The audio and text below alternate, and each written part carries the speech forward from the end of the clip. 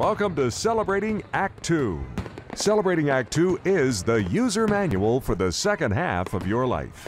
Hello again, everybody. Thanks for joining us on Celebrating Act Two as Art and I get to talk to our fabulous love and relationship coach, Michele Fabrega. Great to see you again, Michele. Hi, John. Hi, Art. Good to see you both. Hi, Michele. Uh, you know, I have a, a couple of days ago, I was uh, with somebody who was loading off on because I guess they felt they could on uh, their, I'll just say partner. It could be a spouse partner. I don't want to give that away. And quite frankly, um, it's not going to go anywhere. And I, I was neither sympathetic or I just listened because they apparently they had to vent. But uh, the truth of the matter is that seems to me to be very dangerous. Uh, if they have a problem, they should either split with them or they should figure it out with them because quite frankly what's going to happen is in many cases especially if you're talking to somebody in a group it's going to get back to them. If it gets back to them i don't think there's any salvaging it about right. somebody hearing from a third party that you're complaining about them. What do you think about that?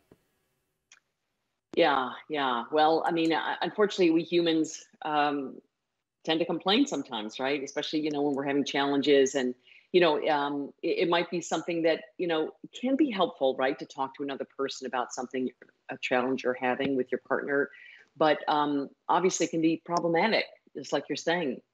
So I think one some of the things to keep in mind are, you know, first of all, are you really only sharing the negative things with someone?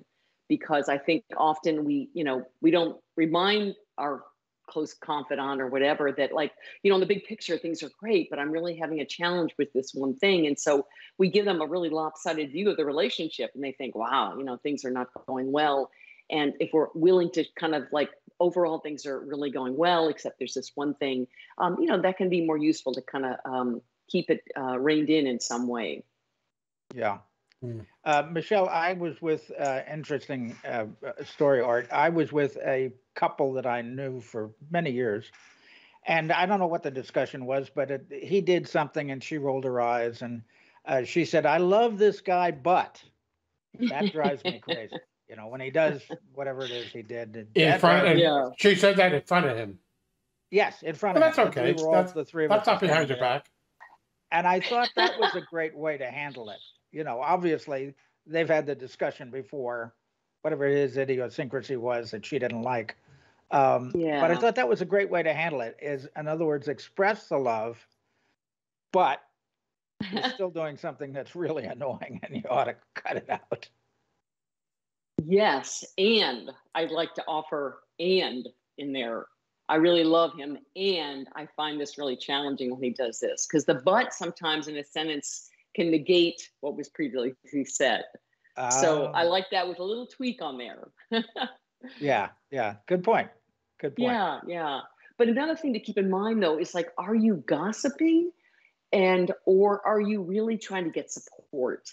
So um, you know, sometimes we need to let off a little steam. There's something that's bothering us. We want to, you know, kind of just um, you know, let go of something really. And so that's that's different than gossiping when you're actually kind of making fun of the behavior or even maybe you know not really treating them with respect or reverence or love that i want to invite people to, re- to treat everybody that way and especially their partners right so um, that's something to notice because i think that sometimes we get in the um, you know we're in a group and people start dishing about their partners you know especially let's be honest, you know, women getting together, let's put it that way, that can happen, right?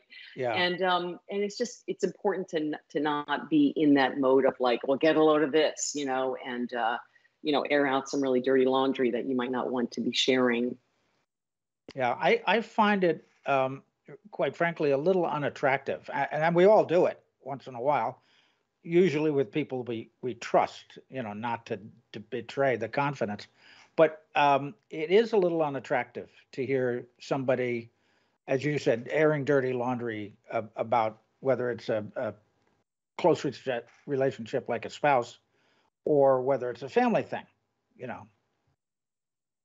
Yeah, yeah. And I think that's actually a really key point because often we think we're sharing something negative about them, but what we're really revealing even more of is something not so positive about ourselves that we would choose to complain about them, you know, in this setting. And so we got to watch that. I mean, oftentimes this can happen even like in a dating situation where you hear someone complain about their former partner. You're kind of like, ooh, that doesn't really reflect well on the speaker, right? Yeah.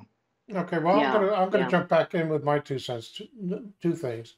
First of all, if you say something behind somebody's back, assume it's going to get back to that person, even if it's a trusted friend. Okay, because I may tell my trusted friend, and it'll get back to them. And number two, to me, don't tell me your secrets because I don't. Not that I don't care. I think much less of somebody who who uh, disses on somebody behind their back. Uh, and if you have something, address it with that person or get professional help. I'm not professional help. Okay. So, uh, and if I could figure out how to bill, bill for it, maybe I would change my mind a little bit. But uh, I I think it's probably, I would say, if you have, don't have something nice to say, say about somebody and you say it behind their back, assume it's going to get back to them and it's not going to reflect well on you. But anyway, that's just me.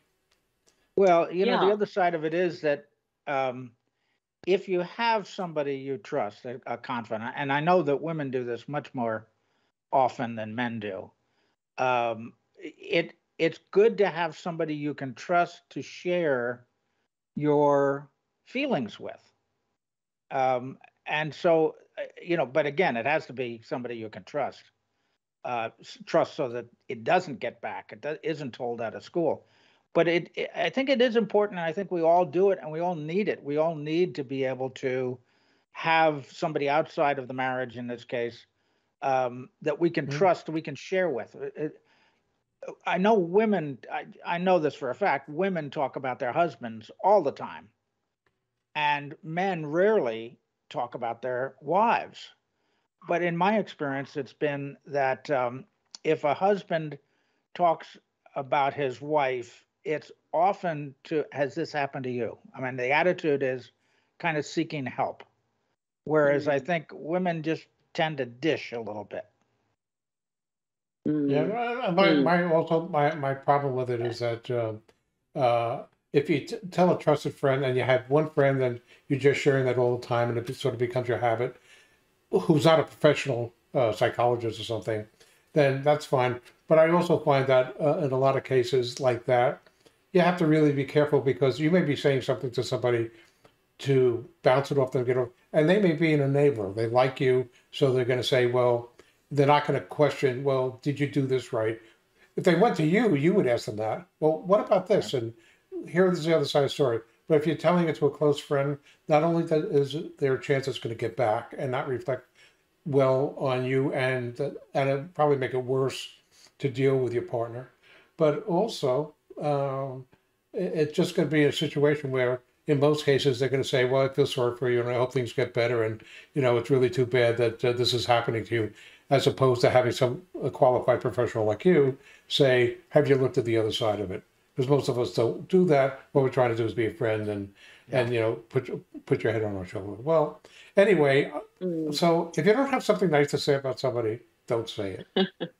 Yeah, well, I, I think yeah, I have some. Um, yeah, the perspective I want to bring and kind of leave us with really is that I think that obviously everybody has a different comfort level with sharing things Mhm. about our relationship outside the relationship, and so that's something to actually have a conversation with your partner about.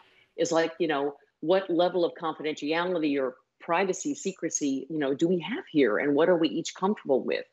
because I do think there can be um, a danger in having really tight security around those things because I think that can be sometimes a warning sign of an abusive relationship when you're not permitted to share with anybody else about what's going on. And so people hold it in a different way. And that's definitely a place to obviously, you know, get support from a counselor or coach, someone who can, you know, keep confidentiality and help you help you sort it out without the repercussions of someone else learning about this situation that you maybe wish you hadn't shared or you know down the road it like you said it it, it gets out so i think it's it's kind of like a, a personal choice but yeah we just i advise caution around that Yeah. and um and definitely just to really be respectful of your partner um and you know to treat it it's like it's a behavioral thing that you know like we talk about kids it's like you know comment on behavior not the person themselves mm-hmm. so we're not like tearing down the, the whole person it's like i didn't like it when they did this is different than